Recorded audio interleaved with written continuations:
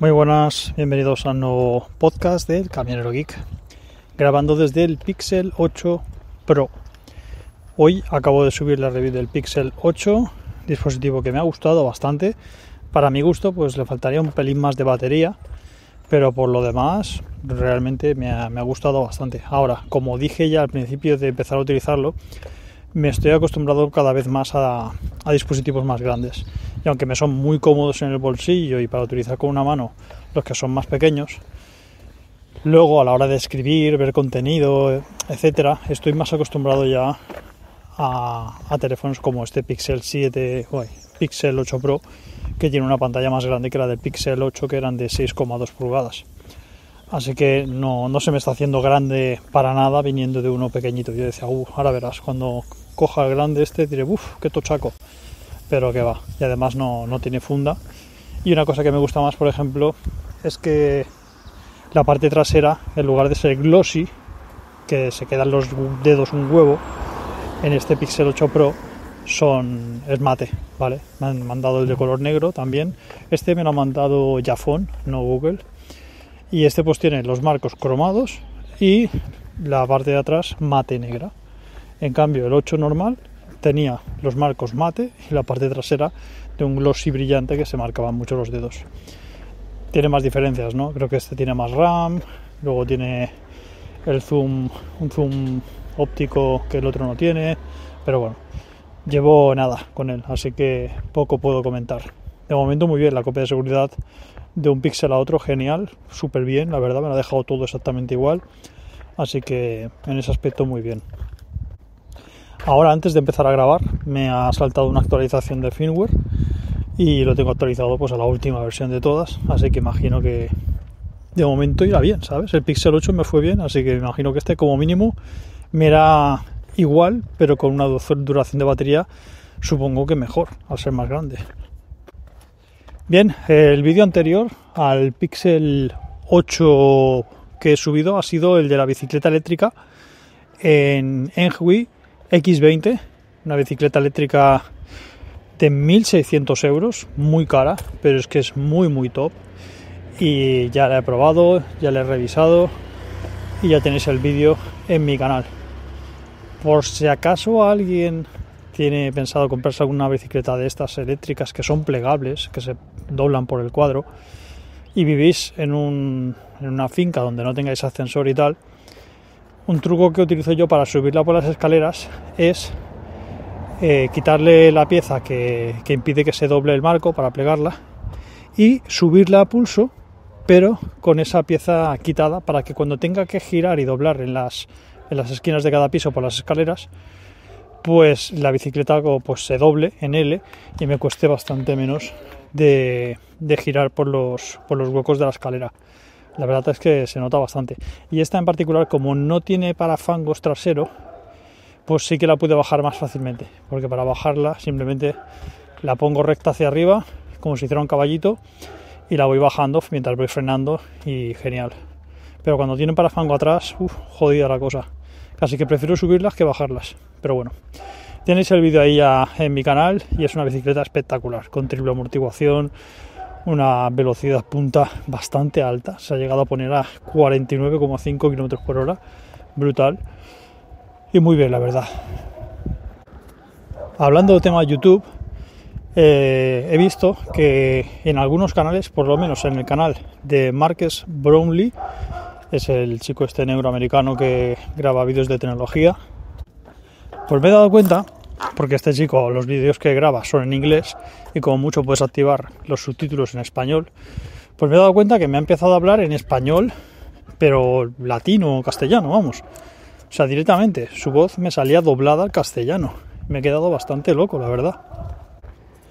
Me he puesto a mirar otros canales a ver si también estuvieran doblados y tal, pero no, no, la verdad es que no. Para saberlo, si automáticamente no te. Un canal que habla en inglés normalmente no te empieza a hablar en español, tienes que darle desde el ordenador, estoy hablando, ¿eh? Aunque bueno, desde el móvil también sale. Yo lo he probado desde el móvil y también me hablaba en español en ese canal en cuestión. Cuando es su lengua oficial es el inglés. Bueno, pues para ver si puedes poner lo que hable en español, tienes que eh, darle a la ruedita en YouTube, ¿sabes? La ruedita de herramientas que tenemos abajo en el reproductor. Y hay un apartado en el que te pone pues el tema del doblaje. Y creo que puedes elegir el idioma. A mí automáticamente lo tenía puesto en castellano, imagino que detecta la región y te lo pone en el idioma de ahí, ¿sabes? Pero me he estado informando un poco y no lo tiene todo el mundo esto. Es una función que está añadiendo YouTube y en principio pues ha empezado por unos cuantos canales, obviamente este canal de tecnología es, vamos, referencia, es de los más grandes, si no el más grande y por supuesto pues se ve que ha sido uno de los primeros en que YouTube le active esto y por eso lo estará lo está probando. Esto es un puntazo. ¿Por qué? Pues porque tú no sabes la cantidad que de, vídeos que veo yo en inglés y la cantidad que a lo mejor no veo porque digo, no, es que necesito saber lo que dicen y a lo mejor no tienen los subtítulos activados en castellano y habla muy chungo de entender, ¿sabes? O directamente no es inglés. A lo mejor es un canal que habla en chino o en alemán o en otro idioma. Y ahí ya sí que apaga y vámonos. Pero con este con esta función nueva, cuando la tengan todos los canales, o sea, va a ser una locura, ¿eh?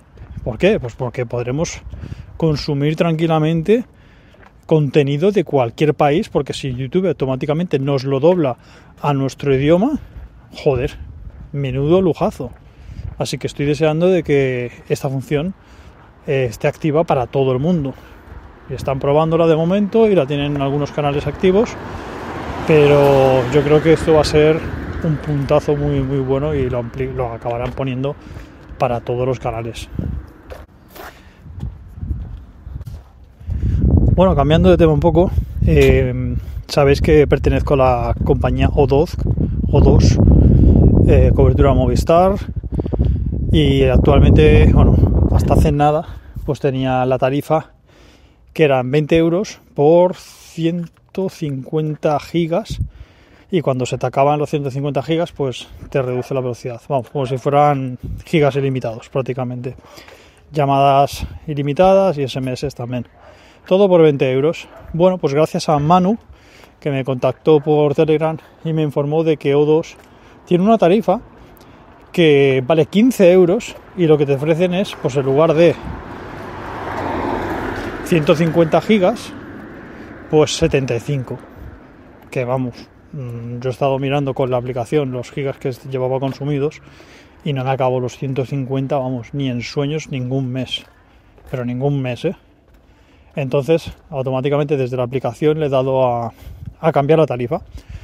Y desde la misma aplicación, al cabo de unos minutos, ya me mandaron un SMS diciéndome que ya estaba cambiado y todo. Y ya, podía ver ahí en el, en el gráfico que ya no me ponía que tenía 150 gigas, sino 75. Y actualmente, pues tengo como 9 o 10 gigas gastados, ¿sabes? Yo creo que como mucho gastaré 15 o 30 a lo máximo. Yo creo que como máximo 30, ¿sabes? El día que sea una locura ese mes. Así que hasta 75, pues ya miras tú. Y me ahorraré pues 5 euros. En lugar de pagar 20, pues 15 euros. Y aún así me seguirán sobrando gigas, así que ya sabéis. Si alguno está como yo, pues que sepáis que existe esta tarifa y desde la misma aplicación se puede pasar de una tarifa a otra súper fácilmente y súper rápido. Y ahora para los que me digan, no, pues yo estoy en tal operadora y es más barato, no sé qué. Ya, pero tiene que ser operadoras con cobertura Movistar.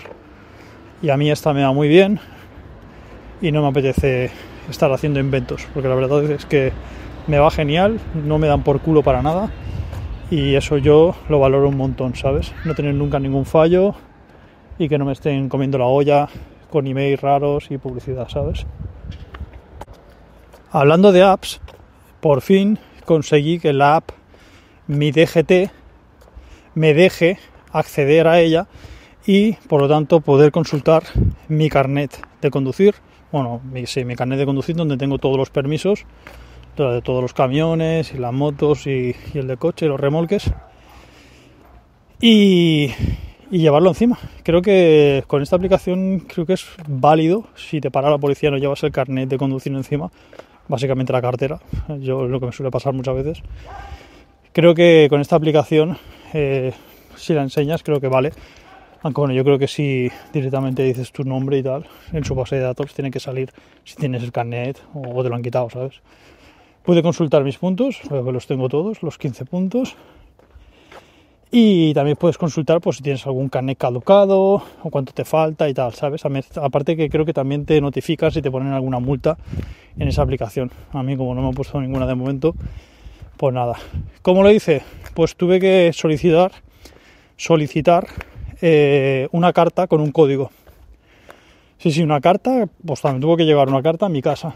Porque me decía que mi número de teléfono no estaba asociado a la clave de no sé qué mierdas y cuando yo lo intentaba y tal, desde las instrucciones que me ponía la aplicación, era una captura de pantalla y no, no, te explicaba bien. Tuve que informarme bien por ahí, por Google, y solicitar que me mandasen un, PIN con una numeración para yo poder activar y solicitar mi clave. Que mi clave es mi DNI. Vamos, que ahora cuando meto, cuando me piden la clave, meto mi DNI y eso es mi clave, ¿sabes? Pero para activar eso pues tuve que coger y, pedir que me mandaran una carta de correo a mi casa con el pin ese, ¿sabes? Así que una mierda, pero bueno, al menos ya lo tengo. Y con eso pues pude activar el, tema de la aplicación de mi DGT, que no me dejaba por culpa de, no tener mi número de teléfono asociado, por el tema de, la clave, no sé qué mierda, ¿sabes? Y para terminar os voy a contar una anécdota que me pasó el otro día y a lo mejor os puede ayudar a alguno. Eh, hace no sé cuánto compré en Leroy Merlin. Bueno, reformamos todo el baño, ¿vale?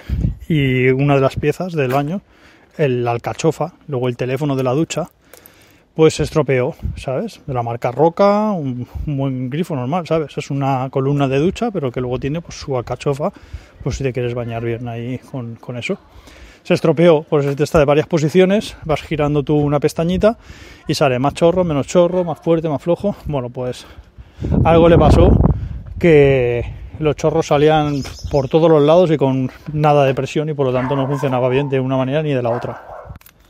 Bueno, el rollo es que obviamente estaba en garantía y me fui al Leroy Merlin, que es donde compramos esa, esa pieza. Bueno, pues me atendieron en, la recepción del Leroy Merlin, no hace falta ni entrar, la mano izquierda, en palma, cuando entras está el mostrador. Y me dijeron, después de atenderme durante un rato, estar mirando cositas y tal, con el ticket de compra y todo eso, que al ser de la marca Roca, eh, la garantía se hacía cargo Roca directamente, que tenía que mandar un email y eh, ellos se pondrían en contacto conmigo, me responderían el email y veríamos cómo lo hacíamos. Y yo en el momento pues no sé, se ve que estaría yo muy tranquilo o algo, porque luego pensando en mi cabeza dije que, soy gilipollas. Pero no, cogí y dije, ah, vale, pues nada. Y me fui a mi casa, le mandé el email y luego me quedé pensando, pero ¿por qué coño he hecho eso? Si lo he comprado en la tienda, me tienen que atender ellos, tío. Me tienen que dar otro, devolver el, dinero, qué pollas, tío. dije, bueno, vale, no me quiero calentar porque como tampoco me urgía porque ya había puesto otro, digo, bueno, vale, vamos a probar lo del email. Le mando el email a Roca me contestan creo que al día siguiente o al otro, diciéndome que les explique y que les envíe un vídeo de qué es lo que le pasa al esto. Era como un robot, porque le había explicado ya lo que tenía, pero así como me estaba contestando, era como si fuera un robot el que me estaba preguntando las cosas, ¿sabes? Bueno, entonces les respondí explicándole todo, menos enviándoles ningún vídeo de nada, porque para enviarles un vídeo tendría que desmontar el que tengo puesto, montar el, el roto y volver a abrir el grifo, salir agua por todo ahí a chorros y no me da la gana, ¿sabes?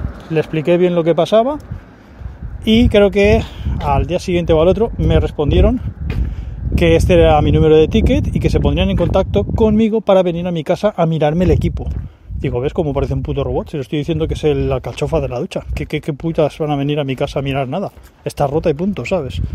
Pero bueno, me dieron el número de ticket. Digo, bueno, esperaré a ver cuando me llamen y les explicaré, porque no hay nada que venir a revisar, que no está ni puesto ya la pieza, la tengo en, una, en su caja, la tengo, sí, que todavía conservo las cajas porque esto hace súper poco. Bueno, pues nueve días.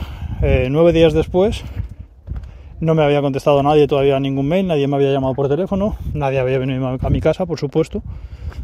Mm, así que el servicio de Roca, pues como el culo me parece a mí. Así que dije, bueno, como tengo que ir ahora cerca del Héroe Merlin para la rehabilitación que estoy haciendo del hombro, me pilla justo al lado. Digo, bueno, pues voy a entrar y como no me va a atender la misma persona seguro, sería mucha casualidad y aparte ya no se acordará porque hace como 10 días que viene o 15, pues, pues, le voy a decir lo mismo otra vez. Bueno, me atiende una chica, le digo, mira, que compré esto, está en garantía y se ha estropeado, funciona mal. Y mira, lo primero que me dice no es ni esto es Roca, lo lleva Roca, toma el email, contacta con ella. No, lo primero que me dice, ¿qué quieres? ¿Otro o el dinero? Automáticamente. O sea que, para que veas, en el mismo sitio, la misma, la misma recepción, simplemente con 10 o 11 días de diferencia, una me dice que me tengo que buscar la vida yo con un email y con el servicio de Roca y a los 10 días, en el mismo sitio, otra persona me dice que, que quiero el dinero o otro nuevo y me dieron otro nuevo. Digo, así ya tengo uno de recambio porque como en mi casa, por la cal, tarde o temprano se acabarán eh, jodiendo los orificios de la ducha, pues eh, tendré que cambiar. Digo, bueno, ya lo tengo y como este me gusta va bien, hasta que se rompió, pues lo tendré de sustituto, ¿no? Pero para que veas, o sea, si me hubiera peleado la primera vez, a lo mejor directamente me hubieran dicho, bueno, pues sí, toma, te lo cambio. Pero es que la segunda vez es que no me han tenido ni que discutir ni nada. O sea, directamente no me han ni preguntado. Toma, cambio, sustitución, el dinero o lo que tú quieras, ¿sabes? Así que nada, ya sabéis, si compráis en Leroy Merlin algo de roca y os sueltan el rollo este, que sepáis que va, en mi caso por lo menos, eh, la sustitución ha sido nula por mail y en cambio yendo otro día distinto, cuando me ha atendido otra persona, directamente me lo han cambiado ahí sin problemas o incluso me daban el dinero. Así que nada, ya sabéis. Bueno, pues nada, lo vamos a dejar por aquí y nos escuchamos en siguientes podcasts. Un saludo.